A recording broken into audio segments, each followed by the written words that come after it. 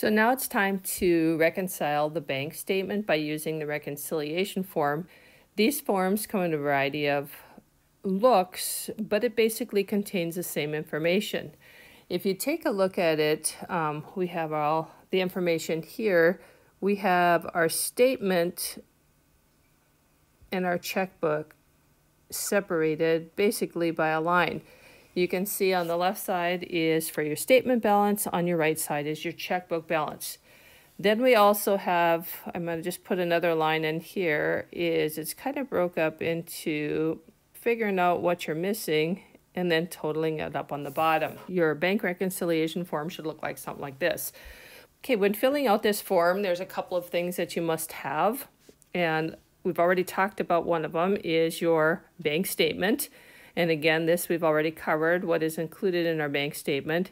You also need your check register that also shows you the check marks that you've put in. Remember the check marks here. This means that um, Sports Sportswear where you've already received that check back. So you, it is a canceled check. It's already been paid along with the ticket source, Bell's department store.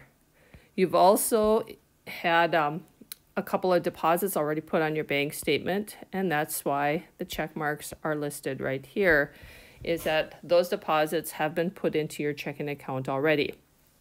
Now we're ready to fill out the form. The first thing you need on the form is we're going to work with the side that says statement.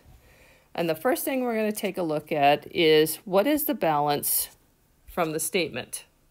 Okay, when we go back into our statement, you can see balance this statement is $235.80. So we'll go back here and put $235.80.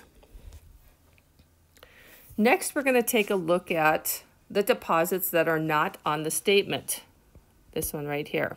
The deposit's not on the statement, so when we go back into our check register, we've already taken a look at a couple of things.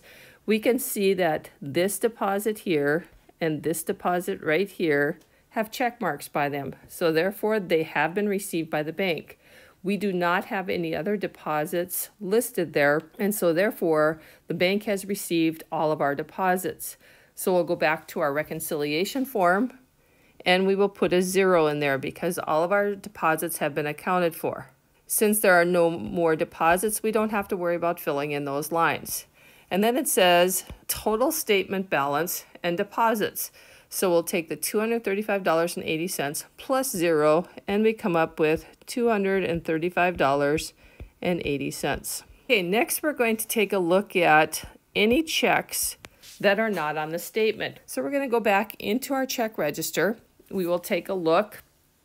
The ones with uh, the check marks by them mean that they are canceled checks. So these are all canceled checks. We can see that we have one check here that does not have a check mark by it. Um, this particular checking account charges a fee for every check they write, so therefore that's why there's 20 cents in all the fees right there. So our outstanding check is for $15.20. So let's go back into our reconciliation form and we will put checks not on the statement, $15.20.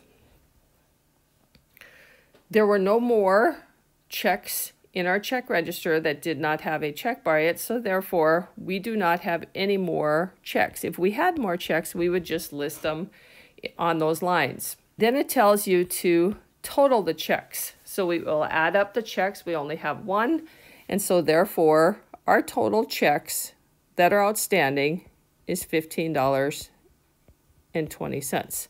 So again, these are outstanding checks. Next, we're going to total it up at the bottom. So what we're going to do is just transfer numbers from the top. So it says total statement balance and deposits. So we will move this number down there. So 235.80. Because remember, this, this bottom portion is like a summary of it. And then it says total checks Our total checks is right there. So we will move that number down, 15, 20. It tells you to subtract it. So therefore we'll take $235.80 minus $15.20 and we come up with $220.60. So now when you look at this, this statement balance is what the bank has in your account, $220.60. If you look back into your check register, you can see that that number is different. It says it is $224.60. So there's a number of reasons why that might happen. Okay, now we're going to move over to our checkbook part because we again we want to make sure that our checkbook balance matches what the bank has. So we're going to take a look at the balance from our checkbook, this one right here. The balance on our checkbook. So we'll go back to our checkbook and according to our checkbook, our balance is right there, $224.60. So we will put that in there.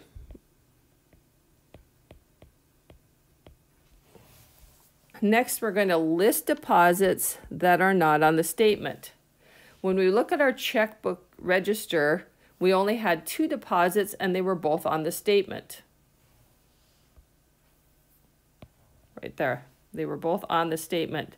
So therefore, we do not have any outstanding deposits. These would be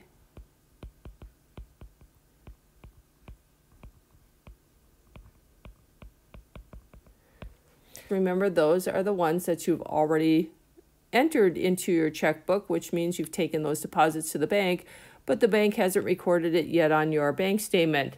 And the reason why sometimes that happens is maybe you took your check to the bank this morning, and when you got home, the reconciliation form and your bank statement was in your mailbox. So therefore, they didn't have time to put it into your account. But going back to that, we didn't have any deposits on our statement that weren't in our checkbook. So we will put a zero there for now. Um, if we had more than one, we would fill in those blanks. Okay, next we're going to take a look at total checkbook balance and deposits. So we would take $224.60 plus zero, and we get $224.60. Next, we're going to take a look at the fees not in the checkbook.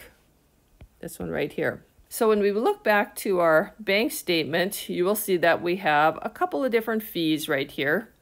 Here are our fees that we're going to take a look at. You will notice that the 20 cents here here, and here are located in your check register. Those were here, here, and here. So those are already recorded in your check register. If you take a look, there is one more fee here, which is a service charge of $4. And you will notice that it is not in your check register, so you haven't recorded it. The bank has taken it out of your account, but you haven't taken it out of your check register account. So we'll go back into our reconciliation form and we're going to list the fees not in the checkbook, which was $4. If we had any other types of fees like credit card fees or whatever, we would also list them there. Since that's the only one that's missing, we will not have to put anything else in those blanks.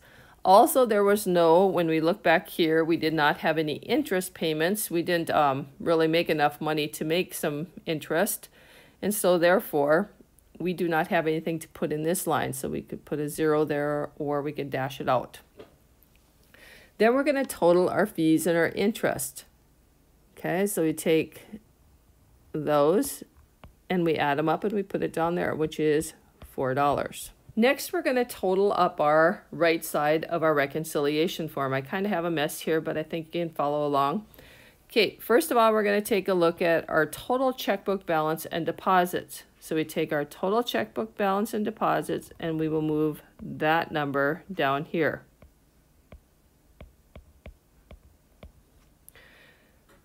We have to take a look at our total fees or transfer our total fees and interest down. And so this number here will go there. Okay, next you are going to figure out your checkbook balance. You take $224.60 minus $4, and you come up with $220.60. The biggest thing with your reconciliation form is you have to make sure that your statement balance equals your checkbook balance. Those two numbers must be in balance for your reconciliation to be complete. After filling out your reconciliation form and the balances don't match, either you or your bank made an error. You need to check all your calculations. There's room for error in your check register. You need to double check that you entered everything from ATM transactions to automatic payments. And you may have to check with your bank. But first of all, you should do all the calculation and double checking first before you run to your bank for help. After you're done, you need to make some adjustments. You might need to record any maintenance fees and interest earned in your check register. Um, any of your service charge or interest earned must be recorded in your check register. The register should match your statement balance. Banks don't often make mistakes. If you notice a potential error, make sure you check your files for your receipts. Um, you might have to take it to the bank to get clarification. You need to explain your problem. And then on your future statements, you need to check to see if it has been corrected. Canceled checks are the ones that the banks have paid. Remember, canceled checks have a stamp on it, canceling them out, and it's proof of payment. Keep this for future reference in, in case somebody comes back and wonders if you made a payment. You can use the canceled check or the substitute check as proof of payment. Well, you made it through this lesson and hope everything is going well with you.